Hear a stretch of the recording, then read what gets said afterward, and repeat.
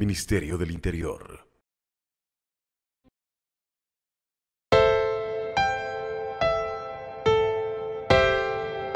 Estábamos sentados y cuando comenzó mi mujer dice temblor y salió pisar del, del mueble que estaba sentada y pues salió a la cocina a apagar la, la hornilla de la cocina. Yo pensé que eso era como otros temblores que algo pasajero que yo podía regresar, pero termino de la, apagar la hornilla y de un solo remesón me voló al otro extremo. Ya ya no pude regresar, ya lo que había caído las planchas, la- parece que la casa era un castillo de naipes porque como que todo se, se barataba, las paredes caían una tras otra. Y yo tenía impresionada el mueble y la, y la plancha aquí en la cabeza. Tenía aquí en esta parte, tenía impresionada y no me podía mover a ningún lado. Estaba ahí como atorado, dice uno, y no, no había movimiento de nada. La, pierna derecha es la única que podía moverle y eso hacía, hacía que estoy vivo. Yo ya cuando me di cuenta estaba tendida en un- una plancha de una pared que había caído y arrimada contra un palo también allí porque la casa era es mixta. Y, y, y ahí me vino otra pared y me caí encima. Maruja le decía que me llamaría, Maruja le decía, Maruja. Puta naya, yo lloraba, yo digo, mi mujer está muerta. Un capitán de la policía del IR.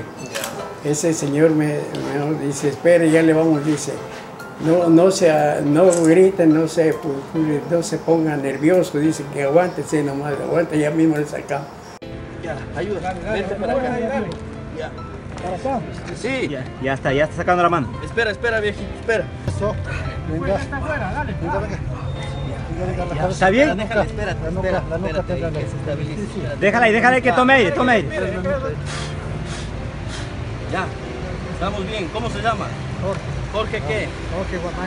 ¿Cuántos años tiene? 77 77, ya. Aquí está la Policía Nacional, usted está vivo. Gracias. Ya, ahora vamos a salir.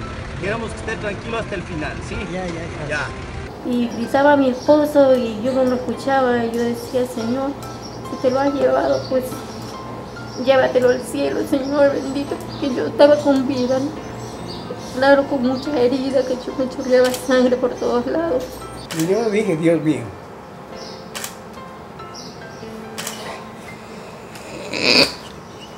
Sí, hombre.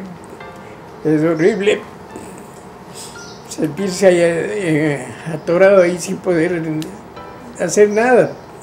Porque no había cómo moverme y gracias a Dios no le dio. Y el, el capitán ese del Laguir, ellos los que me salvaron. Ahí me salvaron. Yo daba gracias a Dios porque en realidad hemos vuelto a nacer. Y cómo no estar agradecida por Dios porque Él es el único que nos da y nos quita la vida. A Dios y a la policía, ni a mi yerno que estaba ahí, que estaba presente de todo. No sé qué habría pasado, pero yo sí volví a nacer. Yo no pensaba vivir. Peor ya que no le oía a mi mujer. Me despierto la madrugada, me despierto, dándole gracias a Dios, que estoy todavía con vida, ¿no?